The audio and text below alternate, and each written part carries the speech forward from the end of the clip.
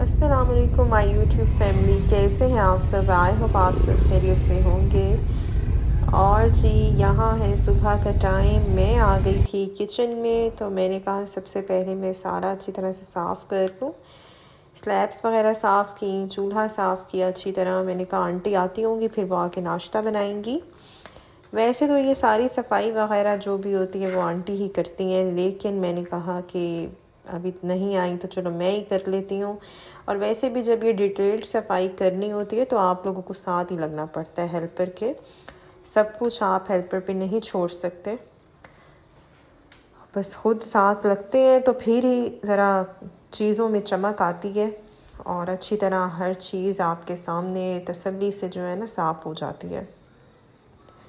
बस मैं अच्छी तरह से ना इसको साफ़ कर रही हूँ।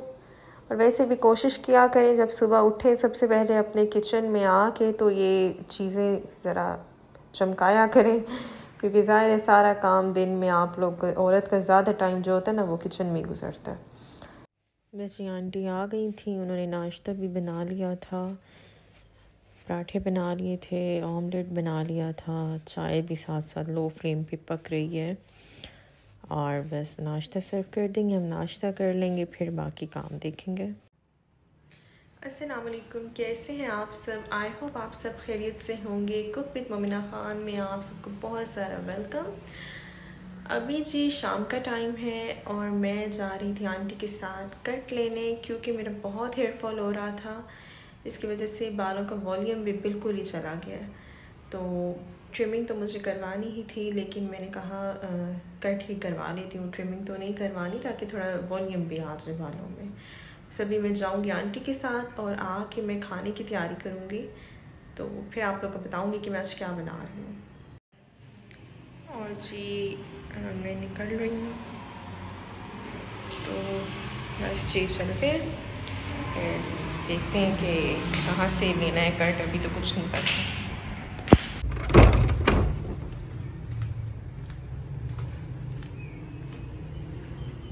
मौसम भी आज बस कुछ सनी है वेदर बादल नहीं है।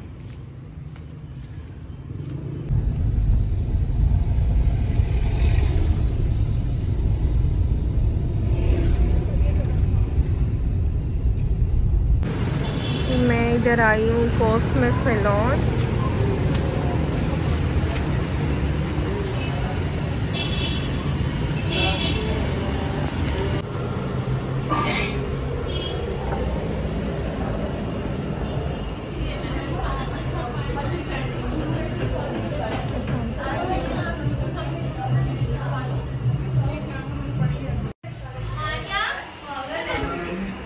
आंटी से मैंने कहा था पैसे इधर। बस। मैं तो जब भी कटिंग कराती हूँ तो अपने बालों को ऐसे ज़मीन पे देखती हूँ इससे दुख होता है कि बस क्या बताऊँ। यहाँ पे हो गई थी कटिंग तो मैंने कहा कुछ पिक्चर्स लेनी है। बालों की तरीफ भी बहुत कह रही थी कि आपके बहुत हेल्दी बाल है, माशाल्लाह। बस हो गई थी मैं फ्री और टाइम तो ज़्यादा ही लग गया था। और बाहर आई तो जेबीज था साथ आंटी आइसक्रीम खाए तो आइसक्रीम तो बस हम जा रहे हैं मंदिर हो गई थी। रात हो गई थी बस। मुझे तो होता है मेरी कोशिश होती है रात से पहले पहले फाइनली लेकिन बस दिन छोटे हैं ना तो फाइनली हम लोग घर आ ही गए। तो शलजम पालक गोश्त बनाना था। अम्मी ने चढ़ा दिया था। मेरी मदर इन लॉ ने। तो आंटी साथ साथ रोटियाँ बना रही हैं। बस फिर मैंने कहा, आप बैठें अम्मी को मैंने कहा, आप बैठे मैं इसको देख लूँगी। तो बस ये भुनाई कर रही थी मैं इसकी। और इसकी रेसिपी तो आपको मेरे चैनल पे मिल जाएगी। मैंने पहले भी अपलोड की हुई है। सर्दियों में तो ये बहुत ही अच्छा लगता है। देसी घी की रोटी के साथ, सुबह नाश्ते में पराठे के साथ खाएँ। और यहाँ मैं साथ ही बना रही थी जी बिरयानी वाइट बिरयानी बना रही हूँ। ऑयल में मैंने साबुत गर्म मसाला ऐड किया। वन स्लाइस्ड अनियन ऐड की है मीडियम साइज़ की।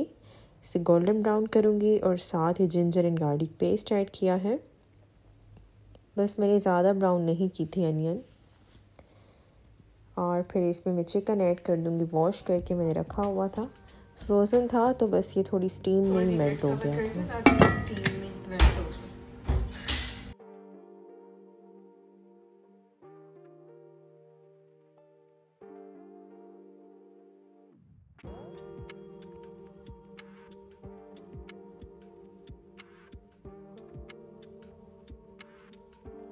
अच्छा ये ना मुझे दराज से रिसीव हुआ था वाइट चिकन बिरयानी मसाला मसाले वाला का है ये।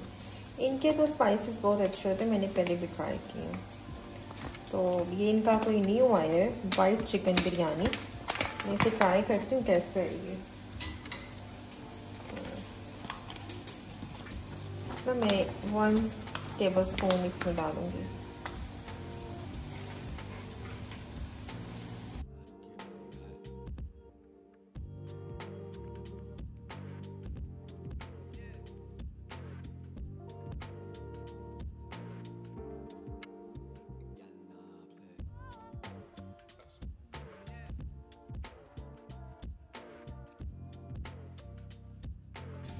मेरे पास ना बासमती राइस है, इसे मैंने ना सॉफ्ट करके रखा हुआ है। जितने ज़्यादा भीगते हैं ये उतने ज़्यादा ही खिले हुए बनते हैं।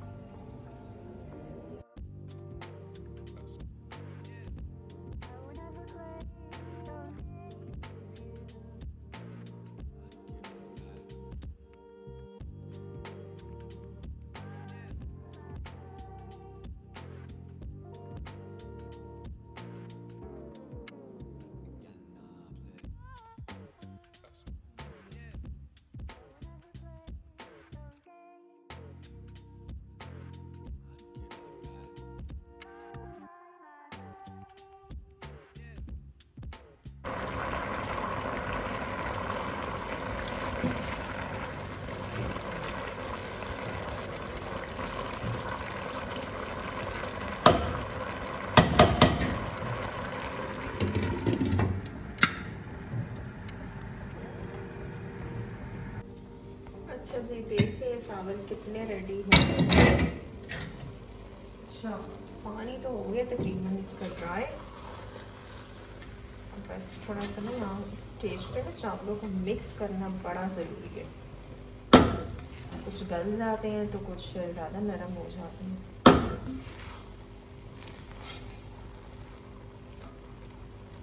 थोड़ा सा पानी है, अभी नमी है चावलों में। मैं इसको दम दूँगी अब थोड़ा सा बिल्कुल मैंने पुदीना डाला है। ग्रीन चिलीज डाली है। नीचे इसके मैं रखूँगी तवा। ताकि चावल नीचे ना लगे।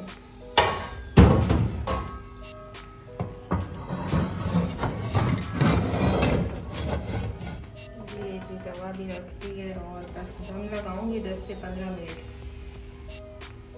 अक्सर मैं तवा नीचे नहीं रखती तो चावल मेरे ना लग जाते हैं तो एक प्लेट तो ऐसे ही ज़ाया हो जाती है।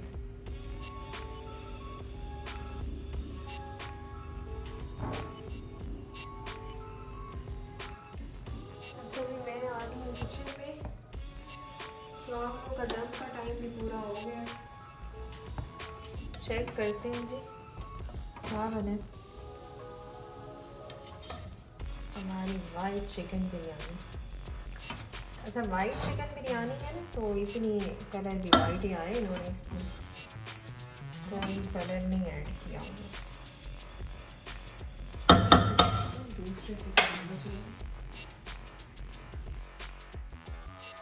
बस ये शामी फ्राई हुए हुए थे तो मैं यहाँ पे इन्हें गरम कर रही हूँ, और इसकी रेसिपी भी आप लोगों को चैनल पे मिल जाएगी। वैसे ये जैसे गर्म होंगे साथ ही मैं सैलड बना रही थी रायते में ही मैं ये सैलड ऐड कर दूँगी। अनियन कट किया था, ग्रीन चिलीज कट की थी, बिल्कुल बारीक बारीक टमाटोज कट कर लिए थे। इसके ऊपर मैं चाट मसाला डालूँगी ढेर सारा, क्योंकि जो मेरे हस्बैंड को तो फुल चटपटी सी चाहिए होती है सैलड, और वो भी रायते में से मिक्स करके खाते हैं। तो सारी बस मैं रायते में ऐड कर दूँगी। दही को अच्छी तरह फेंट लिया और थोड़ा सा नमक डाला था इसमें। बस जी, मैं इसको ऐड कर रही हूँ और यहाँ पे हमारा रायता भी रेडी है। तमाम चीज़ें जो है ना तैयार है। मैं कर दूँगी डिश आउट बिरयानी को और फिर आप लोग इसकी फ़ाइनल लुक दिखाती हूँ।